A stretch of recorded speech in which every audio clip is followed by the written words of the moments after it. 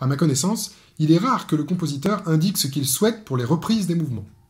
On trouve bien quelques exemples dans certaines sonates françaises, comme ici dans ce court passage de l'allemande, extraite de la cinquième suite pour flûte et basse continue de Pierre Danican Philidor.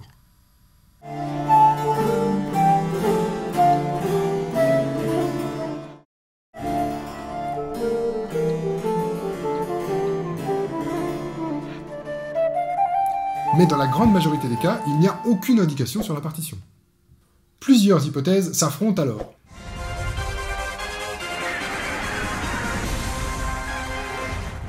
Réponse 1.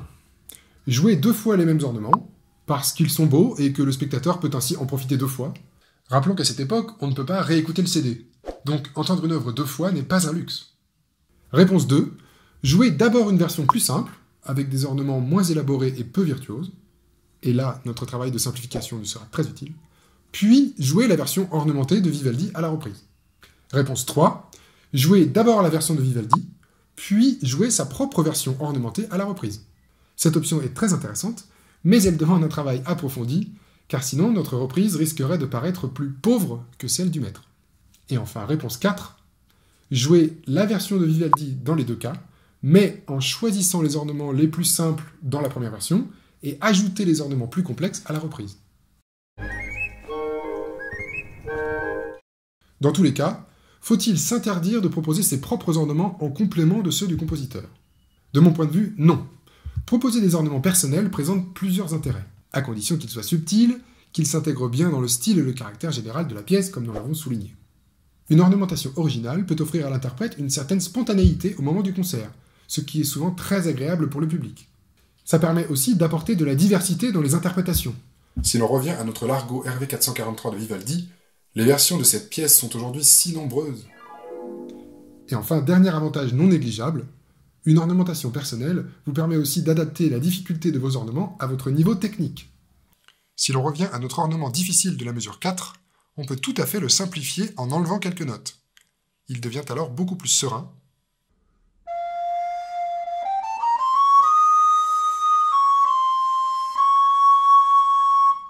ou au contraire, on peut essayer de l'amplifier encore, ce que je vous propose ici.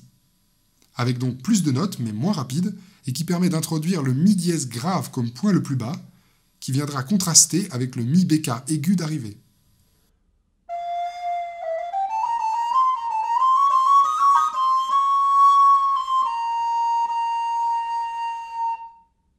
Remarquez au passage qu'avec ce nouvel ornement, nous enlevons hélas un autre jeu d'altération écrit par Vivaldi, entre le sol et le sol dièse. À vous de choisir celui que vous préférez. Notez aussi que le rythme de la mesure 4 est assez profondément modifié, car ce mi aigu arrive bien plus tard que dans la version originale, ce qui nous permet d'orner le troisième et le quatrième temps de la mesure. Attention par contre, il faut être assez motivé pour travailler ces gammes de si mineur. Dans ce cas précis, en mineur mélodique ascendant, donc avec Fa dièse, Sol dièse, Do dièse et La dièse.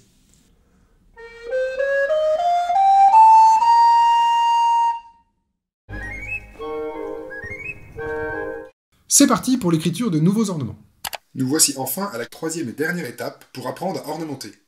Après avoir simplifié la pièce, puis étudié le style du compositeur, il nous reste à ajouter nos propres ornements. Alors bien sûr, comme pour l'interprétation, l'ornementation est très personnelle, et il y a autant de versions que de flûtistes. Je vous en propose donc une que j'ai réalisée. Je vous mets comme toujours la partition en description et je vous laisse la découvrir. Je vous recommande de mettre la vidéo en pause maintenant et d'essayer de la jouer. Analysons maintenant quelques passages ensemble. Mesure 1. Ici, Vivaldi expose simplement la tonalité, en restant immobile sur l'accord parfait de Mi mineur. Mi, Sol, Si. On peut l'agrémenter en diminuant les valeurs rythmiques, par exemple en transformant la sicilienne en Si double croche. Il faut alors ajouter trois notes.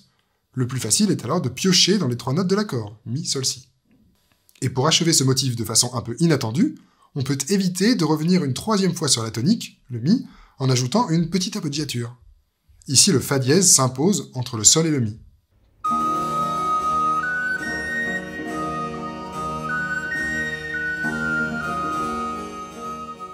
Ce procédé est fréquemment utilisé par les compositeurs. Comme ici en prolongeant la sensible, le La dièse, sur le troisième temps de la mesure 5. On crée ainsi un retard qui vient dissonner avec l'accord parfait de Si mineur, ce qui accentue le caractère plaintif et douloureux de cette pièce.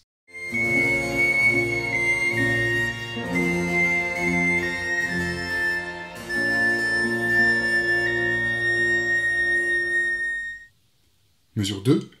On transforme les triples croches en triolets de double. Nous avons vu que cette figure était fréquente chez Vivaldi.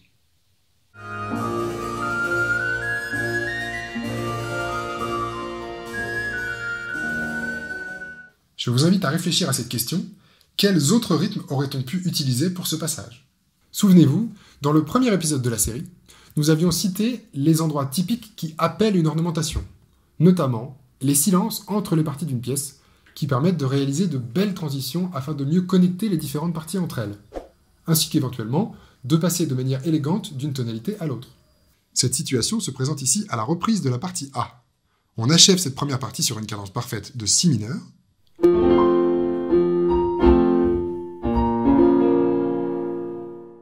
et on doit retourner dans la tonalité initiale, Mi mineur. Petite astuce pour construire votre pont, commencez par compter le nombre de notes conjointes entre la note de départ et la note d'arrivée. Ici, de Si à Mi, on peut placer trois notes, La, Sol, Fa. Nous venons de trouver le pont le plus simple. Il ne nous reste qu'à fixer le rythme qui convient. Par exemple ici, trois croches.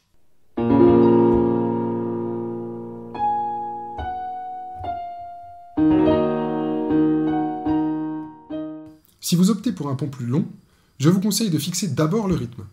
Dans cette pièce, l'un des rythmes les plus naturels serait si double croche. En partant du si, à vous de chercher comment arriver naturellement au mi en ajoutant donc 5 notes. C'est ce pont que je vous propose ici et qui permet naturellement, sans brusquerie et avec des notes conjointes, d'effectuer la transition entre les deux parties A.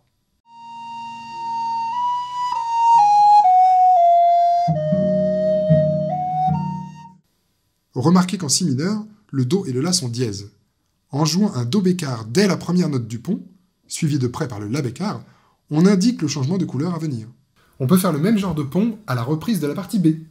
Mais cette fois en commençant par une petite tierce, ce qui permet de passer naturellement de Mi mineur à Si mineur grâce au Ré bécard puis au Do dièse.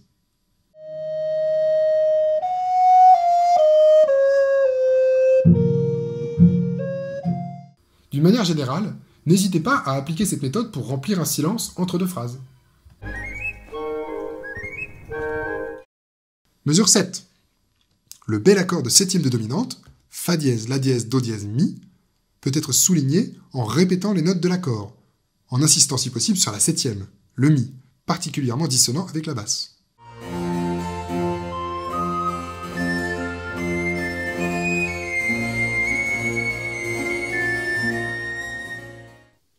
Et si l'on voulait encore embellir cet accord, on pourrait même ajouter une neuvième en jouant un sol.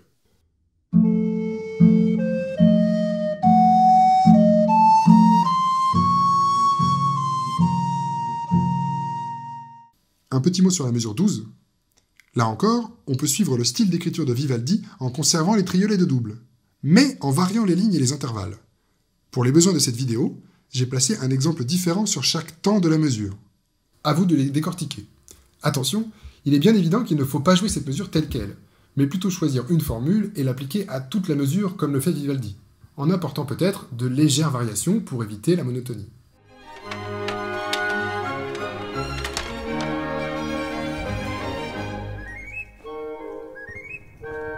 Avant de terminer, j'ai une petite surprise. J'ai eu la chance de jouer moi-même cette pièce en concert l'année dernière. J'ouvre une petite parenthèse. La flûte sopranino, c'est l'enfer quand on travaille dans son salon.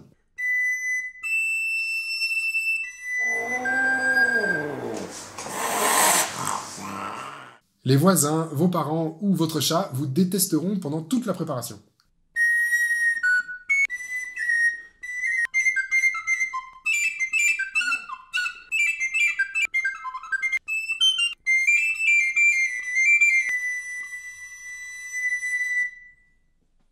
Mais ça vaut vraiment le coup de s'accrocher, parce que quand enfin on la joue dans une belle église avec un super orchestre, c'est un vrai bonheur.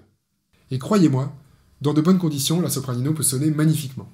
Bref, pour ces concerts, j'avais en fait réalisé plusieurs versions ornementées différentes, dont je me suis inspiré sur le moment, mais sans vraiment les suivre complètement d'un bout à l'autre, dans l'idée de toujours garder la spontanéité dont nous avons déjà parlé, et aussi pour ne pas s'ennuyer en jouant toujours les mêmes ornements à chaque concert.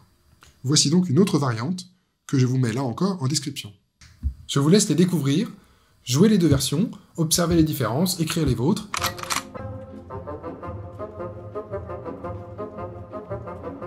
À bientôt et gardez les oreilles ouvertes.